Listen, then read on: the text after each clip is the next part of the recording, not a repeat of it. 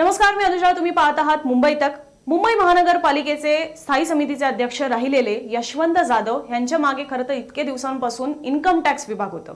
पण आता त्यांच्या मागे ईडी सुद्धा लागणार आहे कारण की ईडीला त्यांनी केलेल्या एका व्यवहाराचा संशय. यशवंत जाधव यांच्या प्रकरणाचा तपास जेव्हा आयकर विभाग करत होतं तेव्हा मुंबईतल्याच भायखळ्यामधलं बिलकाडी चेंबर्स म्हणून आहे आणि तिथली काही प्रॉपर्टी यशवंत जाधव यांनी खरेदी केलेली होती. आणि त्यातच ज्या मालकांसोबत म्हणजे तिथले जे फ्लॅट्स खरेदी केलेले होते त्यांच्या मालकांसोबत जे व्यवहार झाले ते काही भारतातले नव्हते तर ते होते अमेरिकेतले. याच व्यवहारांवर ईडीला संशय आहे आणि ईडी आता फेमा ऍक्ट अंतर्गत यशवंत जाधव यांना त्यांनी समन्स सुद्धा पाठवलेलं आहे आणि चौकशीला बोलावलेलं आहे. आता गेल्या काही दिवसांपासून आपण ईडीच्या कारवाया महाराष्ट्रात खूप मोठ्या प्रमाणात पाहतोय. नवाब मलिक यांचं प्रकरण तर अगदी ताजं आहे. त्याच्या पाठोपाठ भावना गवळी असू देत अनिल देशमुख असू देत असे अनेक महाविकास आघाडीचे नेते हे ईडीच्या रडारवर आलेत. पण या सगळ्यांमध्ये आपण बऱ्याचदा पीएमएलए ऍक्टबद्दल ऐकलेलं होतं किंवा त्याच्या अंतर्गत कारवाया पाहिलेल्या होत्या. त्याच्या अंतर्गतच नवाब मलिक यांना अटक सुद्धा झालेली आहे. तर ईडी ज्या कारवाया करत असते किंवा ज्या ऍक्ट अंतर्गत कारवाया करत असते ते ऍक्ट नेमके आहेत तरी काय? आत्ताचे यशवंत जाधव यांच्या प्रकरणातला फेमा ऍक्ट असू दे किंवा इतर प्रकरणांमधला आपण पीएमएल ऍक्टबद्दल बऱ्याचदा ऐकत असतो. हे दोन ऍक्ट नेमके आहेत तरी काय? दोन्ही ऍक्ट अंतर्गत होणाऱ्या कारवाईंमध्ये नेमका काय फरक असतो? आणि ह्या ईडीच्या ज्या कारवाया होतात त्या पीएमएल ऍक्ट अंतर्गत सहसा जास्त होत असतात. त्याच्यात जामीन मिळणं फार मुश्किल असतं. त्याच्यामुळेच अनेक राजकारण्यांना या ऍक्टचा किंवा या ईडीच्या कारवायांचा खूप मोठ्या प्रमाणात धसका असतो. त्याच्यामुळेच आज आपण समजून घेणार आहोत की पीएमएलए आणि फेमा ऍक्ट नेमके आहेत तरी काय. ईडी म्हणजेच सक्त वसुली संचलनालय ज्याला एन्फोर्समेंट डिरेक्टरेट असं सुद्धा म्हटलं जातं. हिचं मुख्य कार्य आहे भारतातील आर्थिक घोटाळ्यांचा तपास करणं. भारत सरकारच्या अर्थ मंत्रालयाअंतर्गत ईडी काम करत असतं.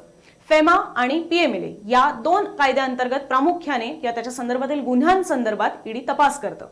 फेमा म्हणजेच फॉरेन एक्सचेंज मॅनेजमेंट ऍक्ट आणि पीएमएलए म्हणजेच prevention of money laundering act आता फेमा म्हणजे काय हे आपण सगळ्यात पहिले समजून घेऊया कारण की यशवंत जाधवांचं प्रकरण ताजंच आहे आणि त्याच्या संदर्भातच फेमा अंतर्गत ती कारवाई होण्याची शक्यता आहे. तर फेमा म्हणजे काय? तर आपल्या देशात मोठ्या प्रमाणात परदेशी व्यापार हा सुरू असतो आणि त्यातून परदेशी चलन भारतीय बाजारपेठांमध्ये येत असतं. त्याचं विनिमय हे योग्यरित्या व्हायला हवं. त्याच्यासाठी परकीय चलन विनिमय कायदा म्हणजेच फेमाची स्थापना करण्यात आली आहे.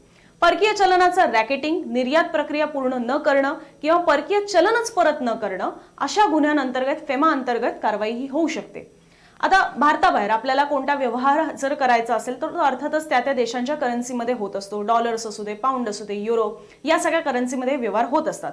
पण या व्यवहारामधले दोन्ही चॅनल्स हे अधिकृत असायला हवे. म्हणजेच पाठवणारा सुद्धा कुठल्या माध्यमातून ते पैसे पाठवतोय आणि घेणारा सुद्धा कुठल्या माध्यमातून ते पैसे घेतोय ते अधिकृतरित्याच घेतोय का? की त्याच्यात कोणी एजंट्स आहेत ते हवाल्यामार्फत जात आहेत का?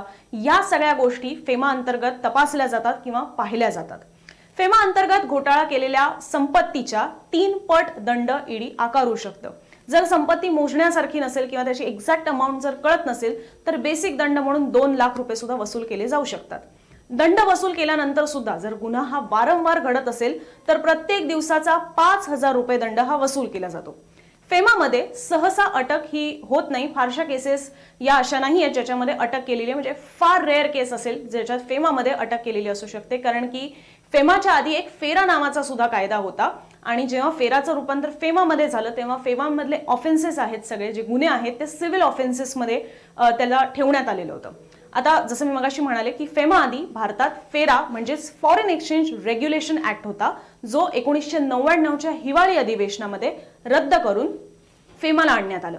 आणि एक जून दोन हजारपासून हा कायदा लागू झाला. म्हणजे फेमा हा दोन हजारपासून सुरू आहे. या कायद्याची अंमलबजावणी किंवा त्या कायद्याअंतर्गत कारवाई करण्याचे अधिकार हे ईडीकडे आहेत. एफएमआ कायद्याचं ज्युरिस्डिक्शन भारतात तर आहेच पण त्यासोबतच बाहेरच्या देशांमध्ये सुद्धा एखादी एजन्सी किंवा ऑफिस ज्याची मालकी ही भारतीय नागरिकाकडे असेल तर तिथे सुद्धा फेमा हा लागू होऊ शकतो. तर जसा हा फेमा होता तसंच आपण पीएमएलए ऍक्ट अंतर्गत सुद्धा गेल्या काही काळापासून बऱ्याचदा ऐकलेलं असेल. अनेक नेत्यांवर झालेल्या कारवाया या पीएमएलए अंतर्गत झालेल्या आहेत. त्याच्यामुळेच पीएमएलए काय आहे तो सुद्धा जाणून घेऊया. तर खरं तर पीएमएलए हा कायदा फौजदारी गुन्ह्यांसंदर्भातला आहे. म्हणजेच मनी लॉन्ड्रिंग संदर्भातला क्रिमिनल ऑफेन्सेस ज्याला आपण म्हणतो ज्यामध्ये संपत्ती जप्त करणं संपत्तीचं हस्तांतरण रूपांतरण करणं किंवा विक्री ज्यांच्यावर बंदी घालणं अशी कारवाई ईडीकडून केली जाऊ शकते. खरं तर बऱ्याचदा लाच घेऊन तस्करीमधून दहशतवादामधून फसवणूक करून सुद्धा अनेक मार्गाने पैसे हे उकळले जातात. पण हे सगळे मार्ग बेकायदेशीर असल्याने याचा ब्लॅक मनी याला आपण ब्लॅक मनी म्हणत असतो. जो कुठेही रेकॉर्डवर नसतो. पण हा पैसा खर्च करायचा असेल तर काळा पैसा तर थेट खर्च करता येत नाही. मग तोच काळा पैसा व्हाईट करावा लागतो. याच ब्लॅक मनीला व्हाईट करण्याला आपण मनी लॉन्ड्रिंग म्हणत असतो. अगदी साध्या सोप्या सरळ भाषेत. मनी लॉन्ड्रिंग संदर्भातला आम्ही एक वेगळा व्हिडिओ सुद्धा केलेला आहे ज्याच्यामध्ये तुम्ही त्याची डिटेल्ड माहिती घेऊ शकता. तर काळा पैसा मिळवणारा आणि तो व्हाईट करणारा या सगळ्या मनी लॉन्ड्रिंगच्या प्रोसेसमध्ये मदत करणारी व्यक्ती सुद्धा दोषी मानली जाऊ शकते. दोन हजार दोन मध्ये पीएमएलए म्हणजेच prevention of money laundering act सगळ्यात पहिले आला पण त्याची अंमलबजावणी ही दोन हजार पाच पासून झाली. म्हणून त्या कायद्याला PMLA two thousand five act असं म्हणतात. आता त्याच्यानंतर सुद्धा म्हणजे दोन हजार दोनला आला दोन हजार पाचला तो लागू झाला त्याच्यानंतर सुद्धा त्याच्यात अनेकदा सुधारणा करण्यात आलेल्या आहेत. या ऍक्ट अंतर्गत काळा पैसा व्हाईट करणाऱ्यांवर कारवाई ही केली जाते. या ऍक्टच्या सेक्शन फोरनुसार काळा पैसा व्हाईट करण्याचा आरोप जर सिद्ध झाला तर तीन ते सात वर्षांचा तुरुंगवास किंवा पाच लाखांचा दंड हा आकारला जाऊ शकतो. शिवाय यात संपत्ती जप्त किंवा अटॅच सुद्धा केली जाते. आता संपत्ती सीज करणं आणि प्रोव्हिशनली अटॅच करणं याच्यातला सुद्धा फरक या संदर्भात सुद्धा आम्ही एक वेगळा व्हिडिओ केलेला आहे. त्याच्यावर सुद्धा तुम्ही तो पाहू शकता तुम्हाला डिस्क्रिप्शनमध्ये सुद्धा त्याची लिंक ही मिळू शकते.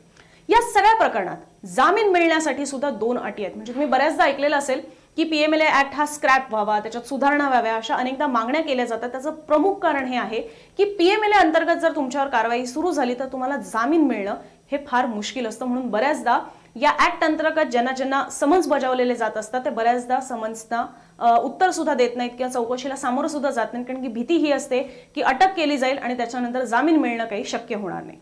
आता ज्या दोन अटी आहेत त्याला कायदेशीर भाषेत ट्विन कंडिशन असं सुद्धा म्हटलं जातं. पहिली कंडिशन जामीन मिळवण्यासाठी तुम्हाला सिद्ध करावं लागतं की तुम्ही दोषी नाहीत जी खूप बेसिक आहे. पण दुसरी कंडिशन आहे ती सगळ्यात महत्वाची ती म्हणजे की भविष्यात सुद्धा असा कुठलाही गुन्हा आम्ही करणार नाही अशी ग्वाही देणं किंवा असं न्यायालयाला पटवून देणं. आता यात भविष्यात गुन्हा करणार नाही याची ग्वाही देणं हेच सगळ्यात कठीण असतं. तुम्ही कसं काय समोरच्याला पटवून द्याल स्पेशली कोर्टाला की तुम्ही भविष्यात सुद्धा असा गुन्हा करणार नाही. तर यासाठी बऱ्याचदा वकिलांकडनं आरोपीची गुन्हेगारी पार्श्वभूमी कशी नाही आहे त्याचे रेकॉर्ड्स कसे क्लीन आहेत याचे दाखले हे दिले जातात. पण तो प्रत्येक आरोपीचा रेकॉर्ड असा क्लीन असेलच का याची शंका मात्र मुश्किल आहे आणि म्हणूनच कलम पंचेचाळीस अंतर्गत जामीन मिळणं बऱ्याचदा कठीण असतं. आणि त्याच्यामुळेच कलम पंचेचाळीसमध्ये सुधारणा करण्यासाठी सर्वोच्च न्यायालयात आतापर्यंत दीडशेहून अधिक याचिका सुद्धा दाखल झालेल्या आहेत.